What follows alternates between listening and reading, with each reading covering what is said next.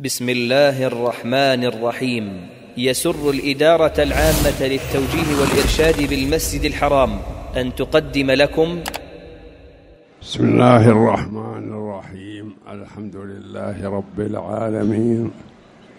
والصلاة والسلام على نبينا محمد وعلى آله وصحبه أجمعين. وبعد. بسم الله. بسم الله الرحمن الرحيم. الحمد لله رب العالمين والصلاة والسلام على عبد الله ورسوله سيدنا ونبينا محمد وعلى آله وصحبه أجمعين. وبعد فيقول المؤلف رحمه الله تعالى في من تخلف عن غزوة تبوك؟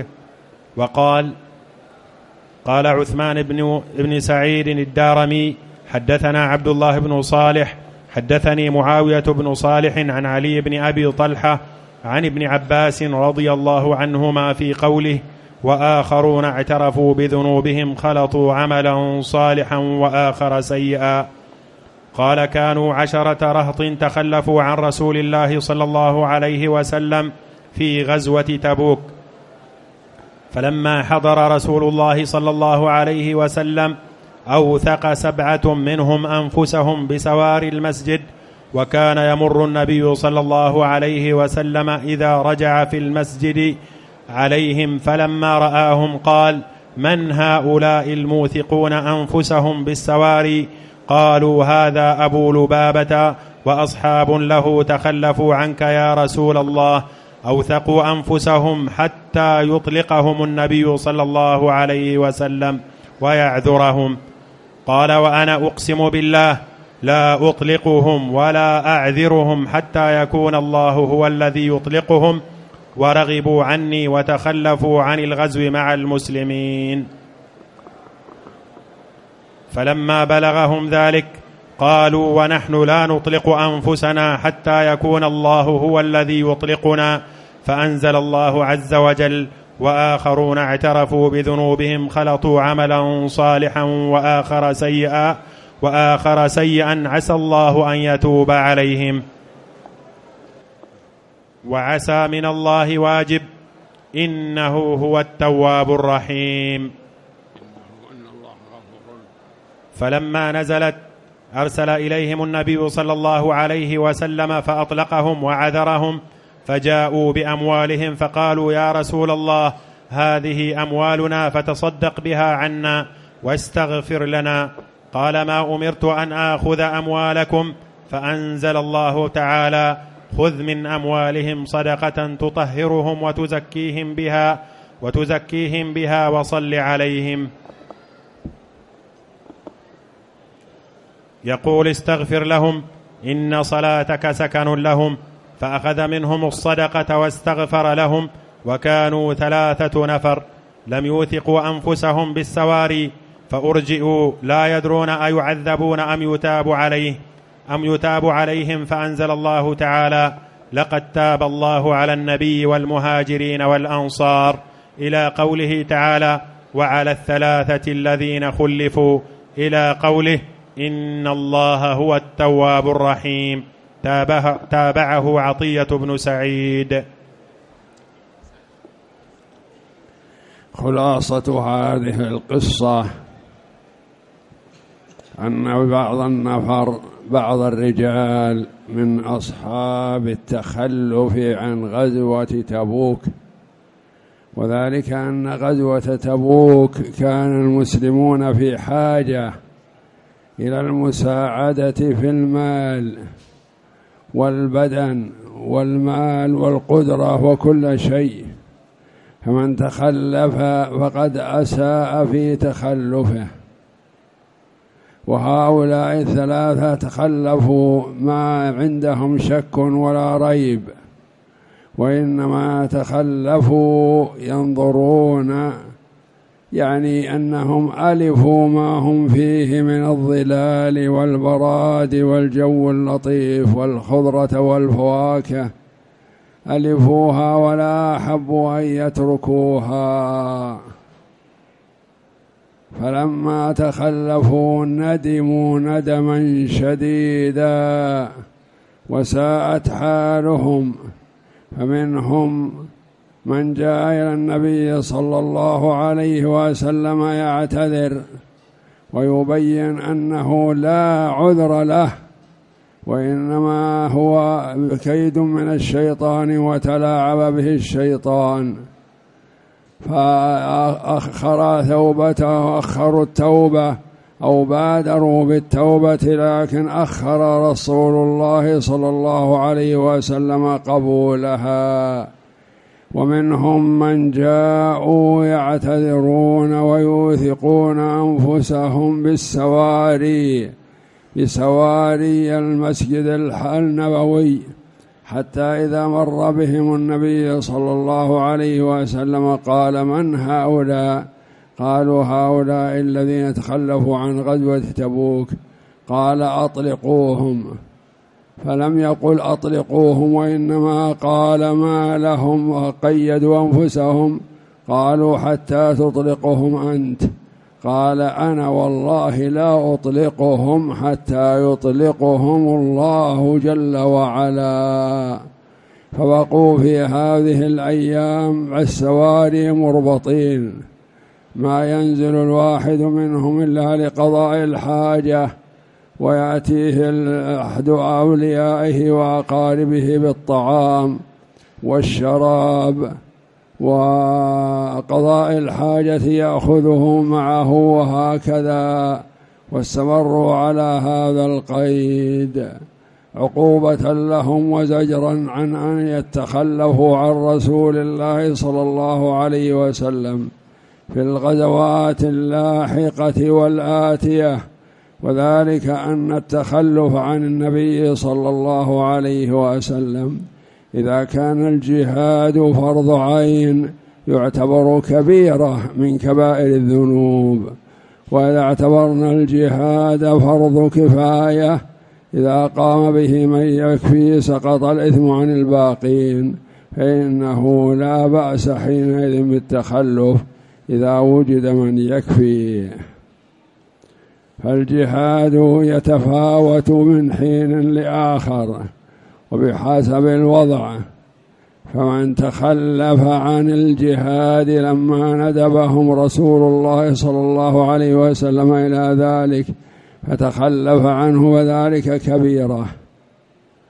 وكذا إذا سمى النبي صلى الله عليه وسلم أنه على كل واحد منكم أيها المسلمون أن تخرجوا للجهاد فالتخلف كبيرة.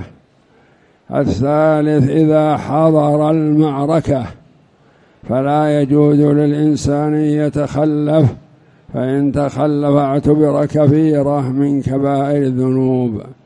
وما عدا هذا يكون الجهاد فرض كفاية وفرض الكفاية إذا قام به من يكفي سقط الإثم عن الباقين. كان يكون الجهاد يحتاج إلى عشرة آلاف فقام في هذا الجهاد عشرة آلاف وزيادة فلا إثم على من تخلف. أما إذا قال النبي صلى الله عليه وسلم أو القائد على كل قادر أن يخرج فتخلف أحد فإنه يكون كبيرة من كبائر الذنوب. ولذا اعتبر تخلف هؤلاء كبيرة من كبائر الذنوب حتى يتوب الله عليهم. فهؤلاء المتخلفون أنواع منهم من أعلنوا توبتهم وصدقهم مع الله وأنهم لن يعودوا لهذا مرة أخرى. فعاقبهم الله والرسول صلى الله عليه وسلم بأن منع الناس من كلامهم كالثلاثة الذين تخلفوا ومنهم من تخلف وربط نفسه بسواري المسجد فأمر النبي صلى الله عليه وسلم أن يتركوا حتى إن الله جل وعلا هو الذي يأمر بإطلاقهم. والمؤلف رحمه الله ابن القيم رحمه الله يذكر لنا قصة هؤلاء الثلاثة الذين ربطوا أنفسهم بسواري المسجد. ربط نفسه في عمود المسجد وقال والله لا يفك نفسه حتى يفكه رسول الله صلى الله عليه وسلم إشعارا بتوبة الله عليهم. فبقوا مربوطين كما ربطوا أنفسهم في المسجد أياما حتى أنزل الله جل وعلا توبتهم من عنده. فتاب عليهم.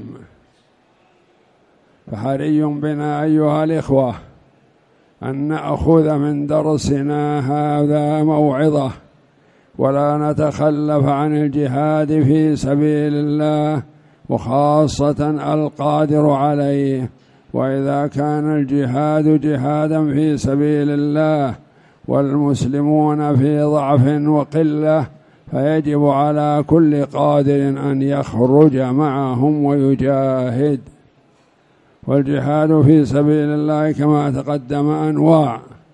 قد يكون فرض كفاية وقد يكون فرض عين وقد يكون مستحبا.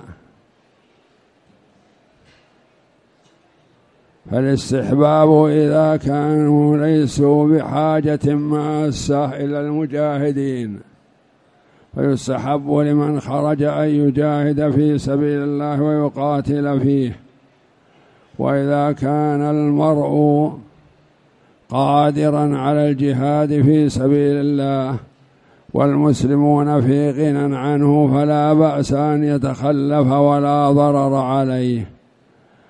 الثالث الحالة الثالثة إذا تخلف والناس في أمس الحاجة إليه فيعتبر تخلفه كبيرة من كبائر الذنوب.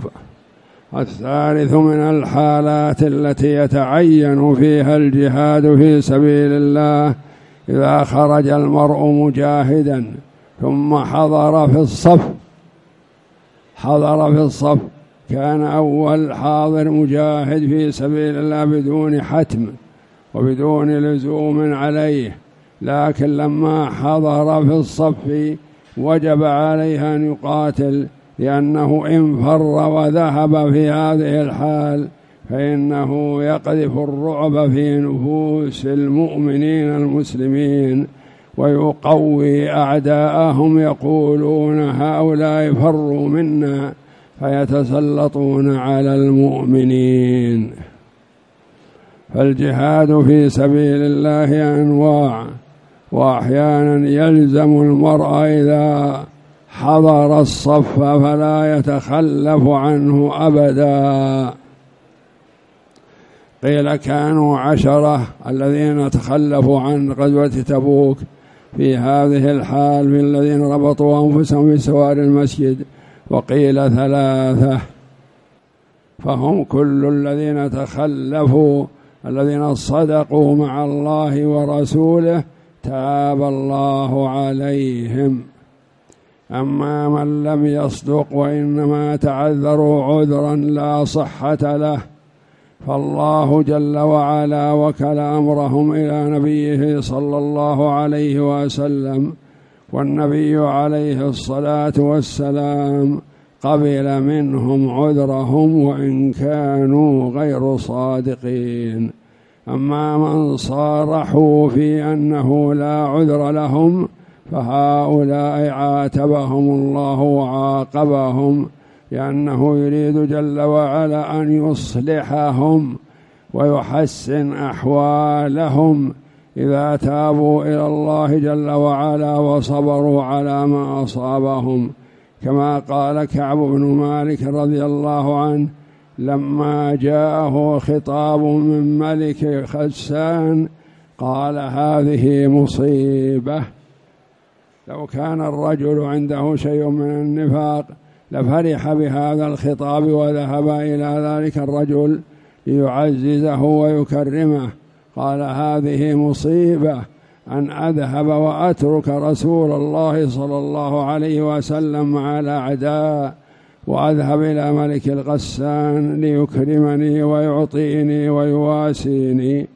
هذه مصيبة عليه فلم يفعل ذلك. وتجمم التنور النار المحرقة وقذف فيها الأوراق التي جاءته من هذا الملك. حتى لا يخطر على باله أن يذهب إليه أبدا. آخرون اعترفوا بذنوبهم خلطوا عملا صالحا وآخر سيئا. اعترفوا بالذنوب خلطوا عملا صالحا وآخر سيئا.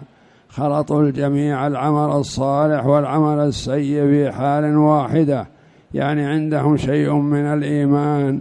والثقة بالله والخوف من الله وعندهم شيء من النسيان والمعصية والتساهل. فأراد الله جل وعلا أن يؤدبهم ويعلمهم أن التوبة لا بد أن يكون المرء صادقا فيها. وآخرون اعترفوا بذنوبهم خلطوا عملا صالحا وآخر سيئا. عسى الله أن يتوب عليهم. وعسى هذه إذا جاءت من الله جل وعلا فهي واجبة يعني أن الله سيتوب عليهم. فجاءوا إلى النبي صلى الله عليه وسلم لما أنزل الله توبتهم. قالوا يا رسول الله هذه أموالنا كلها نتصدق بها. نعطيك إياها يا رسول الله. واعمل فيها ما شئت صدقة منا لله لأجل توبته علينا. فقال عليه الصلاة والسلام لا أقبل أموالكم ورد عليهم الأموال حتى نزل عليه قوله تعالى خذ من أموالهم صدقة تطهرهم وتزكيهم بها وصل عليهم إن صلاتك سكن لهم. صل عليهم بمعنى ادع لهم واسأل لهم المغفرة من الله جل وعلا. فهو عليه الصلاة والسلام يوجه الأمة بما ينفعهم وما يأمرهم الله جل وعلا به. فهو لما نزلت هم فرحوا بذلك وتصدقوا بكل ما يملكون رضي الله عنهم. فقال عليه الصلاة والسلام لن أقبل المال. لما نزل عليه قوله خذ من أموالهم صدقة تطهرهم وتزكيهم بها أخذ شيئا من أموالهم تطهيرا لهم. عليه الصلاة والسلام. نعم. فيؤخذ من هذا أن من أساء إساءة بالغة فيحسن منه أن يتصدق بصدقة يعلم الله جل وعلا صدقه في التوبة. فإذا أسأت ولو لم يعلم عنك أحد فبادر بالصدقة لأن الصدقة تعين على التوبة الصادقة. نعم. فصل في الإشارة إلى بعض ما تضمنته هذه الغزوة من الفقه والفوائد. هذه غزوات النبي صلى الله عليه وسلم وهذه غزوة تبوك يا آخر غزواته صلى الله عليه وسلم لأنها في السنة التاسعة وهو توفي عليه الصلاة والسلام في أول السنة الحادية عشرة. فيحسن بالمرء أن ينظر في سيرة النبي صلى الله عليه وسلم ويأخذ بها فإنها تعاليم قيمة ودروس نافعة مفيدة وخشية من الله جل وعلا وتوجيه رباني للأمة قاطبة لمن وفقه الله جل وعلا. نعم. فمنها جواز القتال في الشهر الحرام إن كان خروجه في رجب محفوظا على ما قاله ابن إسحاق.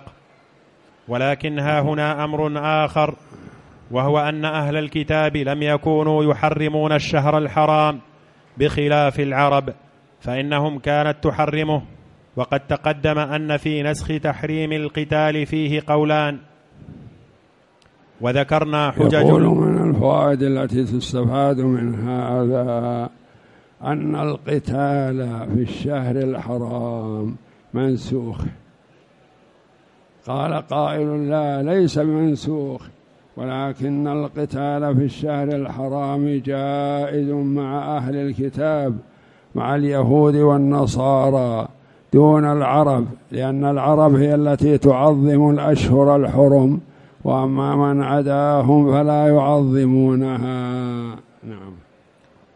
وقد تقدم أن في نسخ تحريم القتال قولين وذكرنا حجج الفريقين ومنها تصريح الإمام للرعية وإعلامهم بالأمر الذي يضرهم ستره وإخفاؤه ليتأهبوا له ويعدوا له عدته وجواز ستر غيره عنهم والكناية عنه للمصلحة. يعني ان الإمام عليه أن يبين للأمة ما يخيفهم ويبين لهم الأمر الواقع على ما هو عليه ولا يقول لهم كما يقول في سائر الغزوات إنا نذهب قريبا أو قبل نجد أو قبل مكان كذا وكذا بل كان صرح لهم بذلك قال قتالنا هذا في تبوك. وتبوك كانت حدود أهل الكتاب كان أهل الكتاب فيها وراءها. فإذا خرج وصل إلى تبوك فمعناه أنه أوثق نفسه وربط نفسه مع أهل الكتاب إما أن يقاتلهم بقوة وشجاعة وإما أن يقتلوه ويأخذوا على يده. ومنها فبين لهم عليه الصلاة والسلام أنه يذهب إلى تبوك يعرف ذلك لأنه كان في الغزوات السابقة. إذا أراد نجد بدأ يسأل عن طريق مكة. وإذا أراد قوما في طريق مكة بدأ يسأل عن طريق نجد. وكذا ليعرف الناس يموه ليوري الناس أنه يريد كذا وليس يريد هذا. ليس يريد هذا فلما أراد الغزوة عليه الصلاة والسلام لفتح مكة بدأ يسأل عن طريق نجد وين يذهب اللي يبي كذا وين يذهب كذا وين يذهب كذا حتى يستشعر بعض الناس أنه يريد نجد بينما هو يريد مكة عليه الصلاة والسلام. فإذا وراهم بذلك يعني يكون عندهم خفى في الأمر علشان ما ينتشر الخبر. لكنه في عندما أراد غزوة تبوك قال طريق تبوك وأين الماء وأين كذا وبين لهم أنه يريد غزوة تبوك. فقال قائل منهم يا رسول الله ليس الوقت وقت غزو لتبوك وإنما يحسن أن تنتظر حتى يبرد الجو. ويكون المرء يصبر على الجوع والعطش والدواب تجد ما تأكله وترعاه وهكذا لكنه كان عازم عليه الصلاة والسلام على التوجه إلى تبوك لأنه لو لم يتوجه إليهم لجيشوا الجيوش وجاءوا إلى المدينة وغزوها فهو عليه الصلاة والسلام أراد أن يخيفهم وهم في أماكنهم فخافوا منه صلى الله عليه وسلم وإن كان الصحابة رضي الله عنهم ليس بهم قدرة تامة على القتال للخارجين عن الدين الإسلامي ليس عندهم القدرة على قتال أهل الذمة أو خارج أهل الذمة أو اليهود والنصارى. لأنهم ليس بهم قوة فأراد أن يخيفهم عليه الصلاة والسلام ويشعرهم بأنه قوي. ومنها أن الإمام إذا استنفر الجيش لزمهم النفير ولم يجوز لأحد التخلف إلا بإذنه ولا يشترط في وجوب النفير تعيين كل واحد منهم بعينه بل متى استنفر الجيش لزم كل واحد منهم الخروج معه وهذا أحد المواضع التي يصير فيها الجهاد فرض عين. والثاني إذا حضر العدو البلد والثالث إذا حضر بين الصفين. يقول رحمه الله إذا حضر اذا جاء أمر الإمام لا يتخلف أحد. فلا يجوز لمسلم أن يتخلف عن الإمام ما دام قادرا على الخروج للجهاد في سبيل الله. ما دام أنه قادر فلا يلزم أن يقول يخرج فلان وفلان وفلان وفلان لا.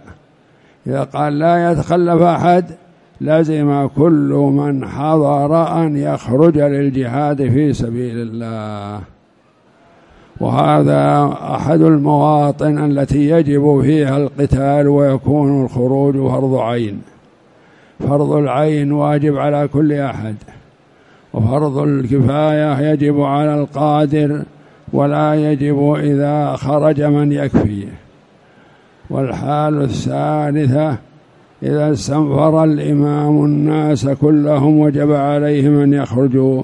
الحال الثالثة إذا إذا حضر العدو إلى البلد التي فيها المسلمون فيجب على كل إنسان قادر أن يقاتل في سبيل الله. متى يتعين القتال؟ في ثلاث حالات.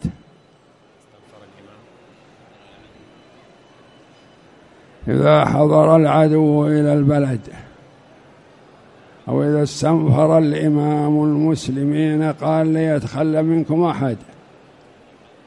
أو الحالة الثالثة إذا كان حال القتال مع المسلمين خارجا إذا حضر مع الصف للقتال في سبيل الله فلا يسعه أن يتخلف. لأن تخلفه في هذه الأحوال يضر المسلمين عموما. يضر المسلمين عموما فلا يجوز لأحد أن يتخلف. وأما ما عدا هذا فلا يخلو. إما أن يكون فرض كفاية إذا خرج من يكفي سقط الإثم عن الباقين وإما أن يكون مستحبا إذا تكاثر المسلمون وقووا على عدوهم. ومنها وجوب الجهاد بالمال كما يجب بالنفس وهذا إحدى الروايتين عن الإمام أحمد وهي الصواب الذي لا ريب فيه فإن الأمر بالجهاد بالمال شقيق الأمر بالجهاد بالنفس في القرآن وقرينه بل جاء مقدما على الجهاد بالنفس في كل موضع إلا موضعا واحدا. وهذا يدل على أن الجهاد به أهم وآكد من الجهاد بالنفس ولا ريب أنه أحد الجهادين كما قال النبي صلى الله عليه وسلم من جهز غازيا فقد غزا فيجب على القادر عليه كما يجب على القادر بالبدن ولا يتم الجهاد بالبدن إلا ببذله ولا ينتصر إلا بالعدد والعدة فإن لم يقدر أن يكثر العدد وجب عليه أن يمد بالمال والعدة. وإذا وجب الحج بالمال على العاجز بالبدن فوجوب الجهاد بالمال أولى وأحرى. نعم هذه من الأحوال التي يجب على المسلمين أن يجاهدوا فيها بأموالهم. فإذا كان المال عصب الحياة والمال هو النفقة التي ينفقها المجاهد في سبيل الله. والمال هو الذي يشترى به السلاح. والمال هو الذي يشترى به الرجال. ويعطون نفقة خروجهم وهكذا. فيجب على المرء أن يبذل ماله في سبيل الله. وقد قدم الله الجهاد في كل الآيات سوى آية واحدة. قدم الجهاد بالنفس والصحيح أنه يقدم المال والمال أحوج. المال أحوج فالمال يشترى به العتاد والسلاح ويشترى به القوة والنفس قد لا تكون مقادرة. فالنبي صلى الله عليه وسلم أوجب على المسلمين الجهاد بأموالهم وأنفسهم الذين يجاهدون في سبيل الله بأموالهم وأنفسهم لهم الفضل العظيم والزكاة والطهر فحري بنا أن نبذل بعض المال لإخواننا المجاهدين في سبيل الله وخاصة مع الذين يجاهدون الكفار أما الذين يجاهدون في حال الشك والريب والمتابعة وغير ذلك فهذا لا يجوز لنا أن نبذل لهم شيئا من المال خشية أن يصرف في قتال المسلمين. ومنها ما برز به عثمان بن عفان من النفقة العظيمة في هذه الغزوة وسبق به الناس فقال النبي صلى الله عليه وسلم غفر الله لك يا عثمان ما أسررت وما أعلنت وما أخفيت وما أبديت. ثم قال ما ضر عثمان ما فعل بعد اليوم وكان قد أنفق ألف دينار وثلاثمائة بعير بعدتها وأحلاسها وأقتابها. ما حصل من عثمان بن عفان رضي الله عنه. وذلك أنه أنفق الأموال الطائلة للجهاد في سبيل الله مع خروجه رضي الله عنه مع المجاهدين فهو أنفق الأموال الطائلة. ولذا قال عليه الصلاة والسلام ما ضر عثمان بعد ما ما فعل بعد اليوم يعني وإن حصل منه زلة أو خطأ فإنها مغفورة له بسبب جهاده في سبيل الله بأمواله العظيمة. فقد أعطى المال الكثير للجهاد في سبيل الله. فعثمان رضي الله عنه بذل الأموال الكثيرة الرخيصة الغالية في سبيل الله لإعلاء كلمة الله رضي الله عنه وأرضاه. ومنها أن العاجز بماله لا يعذر حتى يبذل جهده ويتحقق عجزه فإن الله سبحانه إنما نفى الحرج عن هؤلاء العاجزين بعد أن أتوا رسول الله صلى الله عليه وسلم ليحملهم فقال لا أجد ما أحملكم عليه. فرجعوا يبكون لما فاتهم لما فاتهم من الجهاد. فهذا العاجز الذي لا حرج عليه. العاجز نوعان عاجز بالدعوة يدعي أنه عاجز.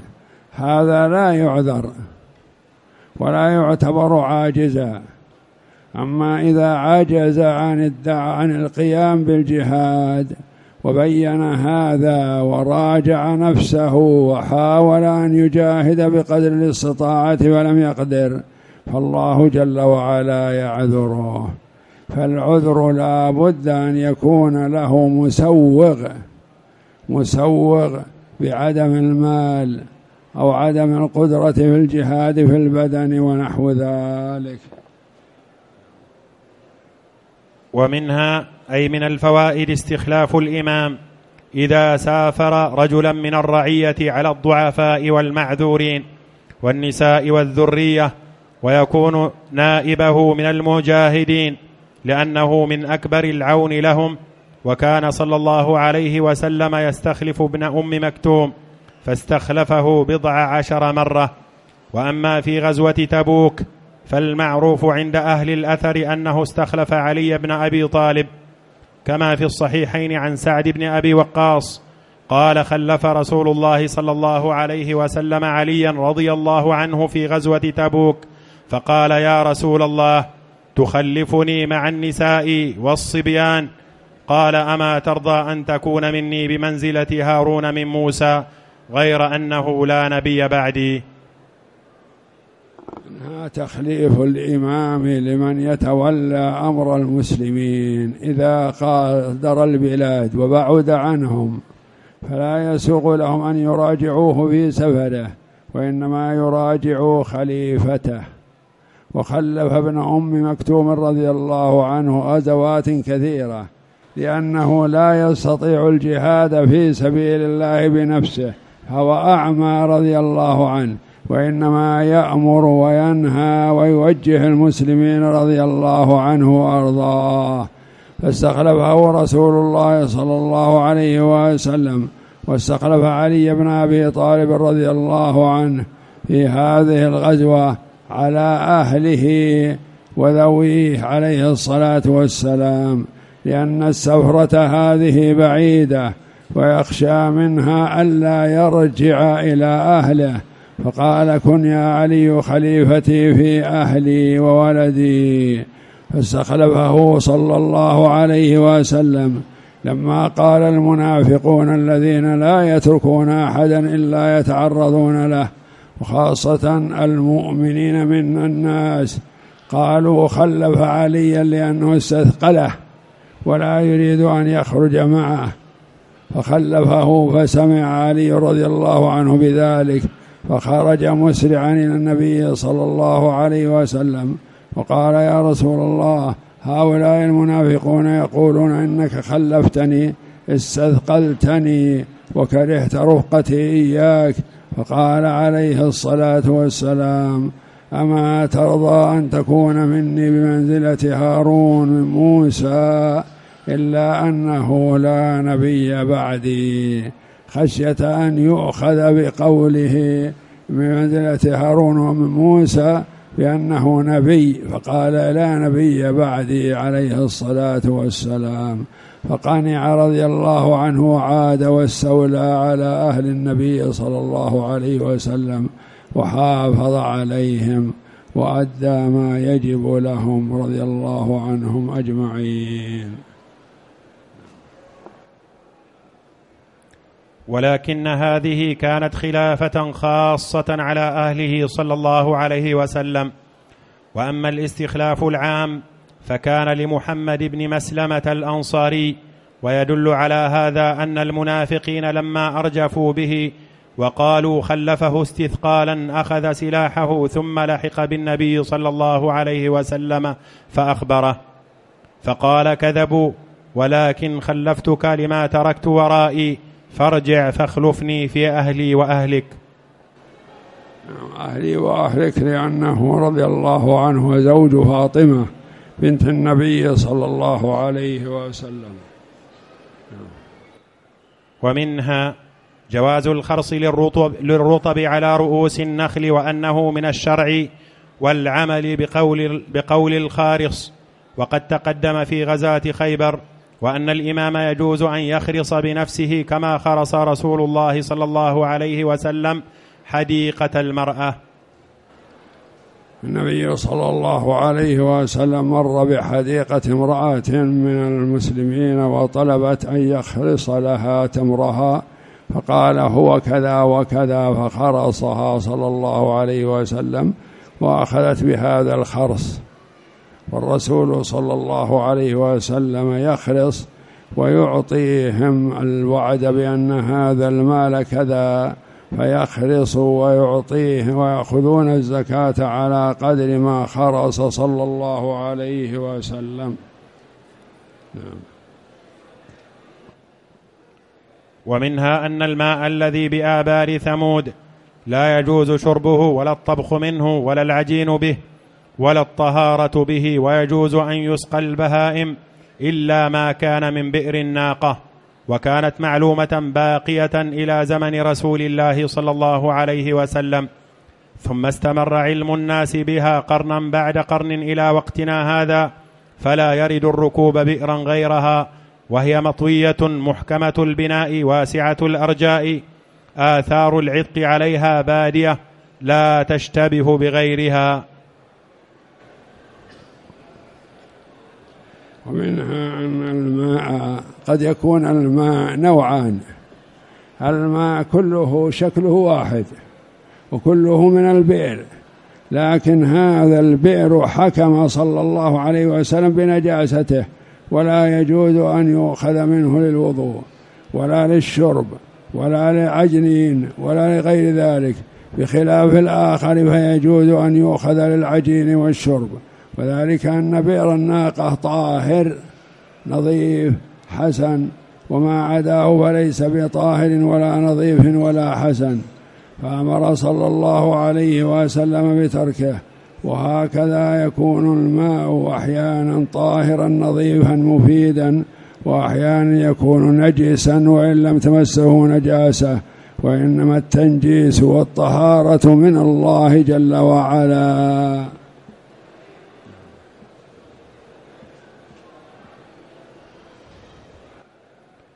ومنها أن من مر بديار المغضوب عليهم والمعذبين لا ينبغي له أن يدخلها ولا يقيم بها بل يسرع السير ويتقنع ويتقنع بثوبه حتى يجاوزها ولا يدخل عليهم إلا باكيا معتبرا.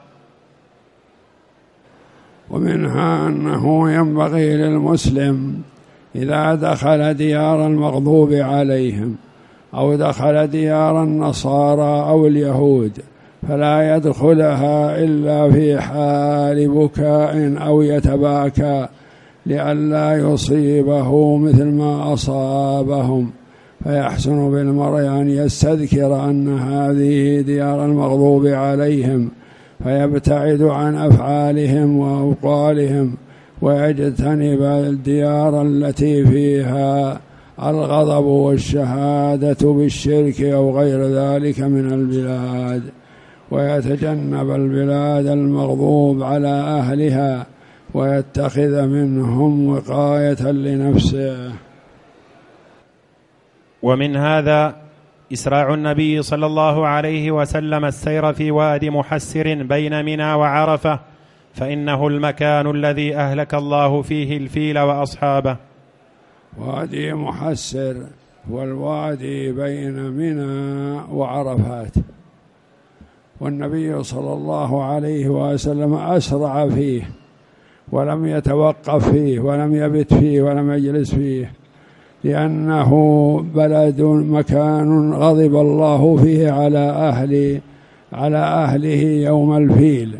هو الوقت الذي أنزل الله فيه العذاب على أهل الفيل.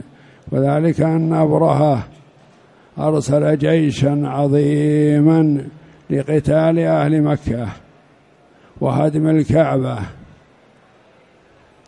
فقبل حياة قبل موجود النبي صلى الله عليه وسلم. فخرج عبد المطلب جد النبي صلى الله عليه وسلم إلى أبرهة فقال أيها الملك الأمير أنتم مررتم برعيتي وإبلي فأخذتم منها شيئا عظيما فأريد أن تأمر الجيش بإعادته إلي. قال وهذا الذي تطلب مني؟ أنا جئت لهدم الكعبة والكعبة عزك وشرفك فيها فأنا آمر بهدم الكعبة وأنت تسألني الإبل التي أخذت منك؟ أعطوه إبله. واستنقصه. أبرهة فأعطوه الإبل وذهب وقالوا له الأمير يقول لك كذا وكذا كيف تأتي تسألني؟ الإبل وأنا جئت لهدم الكعبة. ما سألتني الإعراض عن الكعبة أو تركها أو تعزيزها أو نحو ذلك. قال عبد المطلب كلمته المشهورة.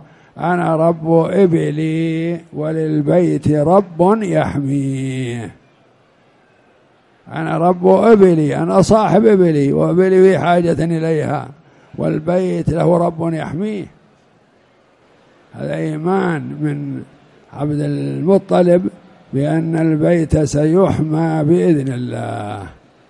فلما توجه لهدمه أعطاه إبله ولما توجه أبرهة على الفيل العظيم ليهدم الكعبة تراجع الفيل توقف. وكلما ضربوا الفيل يريدون يتوجه إلى مكة توقف. وإذا ضربوه يذهب يمينا أو شمالا أو يسارا أو خلفا رجع. مشى معهم. لكن للكعبة لا. حتى أنزل الله عليهم ما أنزل في كتابه في قوله تعالى ألم تر كيف فعل ربك بأصحاب الفيل؟ ألم يجعل كيدهم في تضليل؟ وأرسل عليهم طيرا أبابيل ترميهم بحجارة من سجيل فجعلهم كعصف مأكول. وذلك أن الله جل وعلا أرسل هذه الطير بعدد الجيش ما تخلى منهم أحد. أرسل مع كل طائر ثلاثة حجارة. مع كل طائر ثلاثة حجارة. ثلاثة الحجارة لثلاثة أشخاص. وهكذا. فلم ينجو منهم أحد إلا واحد. نجا هرب فنجا. وظن أنه سلم وليس بسليم. بل طائره يتابعه حتى يستقر ويؤدي الرسالة. فلما وصل إلى اليمن وبلغ ما الذي حصل قال حصل كذا وكذا وأنا هربت وسلمت. لما قال هذا الكلام وأنا سلمت نزل عليه حجره فأراهم كيف قتلهم. الله جل وعلا. ترميهم بحجارة من سجيل فجعلهم كعصف مأكول هذه قصة أصحاب الفيل وأصحاب الفيل جاءوا لهدم الكعبة قبل مبعث النبي صلى الله عليه وسلم. ولكنها كالتوطئة بأن الله جل وعلا سينقذ بيته. وإلا فأهل الكتاب أطيب من أهل من قريش من صاحب أصحاب البيت أصحاب مكة. أطيب منهم وأمكن وأرضى لله لكنهم يريدون هدم البيت والبيت يبقى بإذن الله معززا مكرما في الجاهلية وفي الإسلام. أنزل الله جل وعلا ألم تر كيف فعل ربك بأصحاب الفيل؟ بعد فترة طويلة أنزل الله هذه الآيات بعد بعثة النبي صلى الله عليه وسلم بأن الله أنقذ البيت من أهل الفيل كما أنقذه منهم لما أرادوا الفتك بالبيت وقضاء عليه. ومنها أن النبي صلى الله عليه هذه قصة أصحاب الفيل. لا علاقة لها بقصة تبوك. أو غزوة تبوك لكنها على مثالها على مثالها. فالله جل وعلا أنقذ البيت ممن أراد هدمه لبقائه وليبقى معززا مكرما. ومنها أن النبي صلى الله عليه وسلم كان يجمع بين الصلاتين في السفر. وقد جاء جمع التقديم في هذه القصة في حديث معاذ كما تقدم. وذكرنا علة الحديث ومن أنكره ولم يجيء جمع التقديم عنه في سفر إلا هذا وصح عنه جمع التقديم بعرفة قبل دخوله إلى عرفة فإنه جمع بين الظهر والعصر في وقت الظهر فقيل ذلك لأجل النسك كما قال أبو حنيفة. وقيل لأجل السفر الطويل كما قال الشافعي وأحمد وقيل لأجل الشغل وهو اشتغاله بالوقوف واتصاله إلى غروب الشمس قال أحمد يجمع للشغل وهو قول جماعة من السلف والخلف وقد تقدم. الثاني من ما حصل في غزوة تبوك الجمع بين الصلاتين في وقت واحد. بعض العلماء يقول لا يسوق جمع التقديم ويسوق جمع التأخير. والصحيح أن جمع التقديم وجمع التأخير كله جائز وأن على الإمام أن ينظر في الأنسب له. إن سار قبل دخول وقت الأولى فلا يجمع جمع تقديم. وإن كان مسيره بعد دخول وقت الأولى فإنه يجمع جمع تقديم. يصلي الأولى والثانية ثم يرتحل. معنى هذا أنه لا يسوغ أن يجمع جمع تقديم قبل أذان الظهر وإنما يسوغ بعد الظهر. إذا سار من طريق من مكانه الذي هو فيه قبل الظهر فلا يسوغ له أن يجمع جمع تقديم. أما إذا سار بعد نزول بعد دخول وقت صلاة الظهر فله أن يجمع جمع تقديم وأما جمع التأخير فهو جائز مطلقا. نعم. ومنها جواز التيمم بالرمل فإن النبي صلى الله عليه وسلم وأصحابه قطعوا الرمال التي بين المدينة وتبوك ولم يحملوا معهم ترابا بلا شك وتلك مفاوز معطشة شكوا فيها العطش إلى رسول الله صلى الله عليه وسلم. وقطعا كانوا يتيممون بالأرض التي هم فيها نازلون. هذا كله مما لا شك فيه مع قوله صلى الله عليه وسلم فحيثما أدركت رجلا من امتي الصلاة فعنده مسجده وطهوره. من الفوائد التي حصلت في غزوة تبوك أن التيمم يجوز في الرمل. الرمل يختلف عن التراب. التراب فيه غبار والرمل ليس فيه غبار. فقال يجوز التيمم بالرمل كما يجوز بالتراب لأن النبي صلى الله عليه وسلم ما كان ينقل الرمل التمر التراب من مكان إلى مكان لأنه يعلم أنه سيمر اليوم واليومان. وليس هناك في الأرض تراب يعني كله رمل والرمل نظيف. فيشعر بأن هذا لا يسوغ التيمم به والصحيح أنه يجوز التيمم بالرمل وبالتراب وبالحجارة وبكل ما فيه غبار. هذا والله أعلم وصلى الله وسلم وبارك على عبده ورسوله. نبينا محمد وعلى آله وصحبه أجمعين.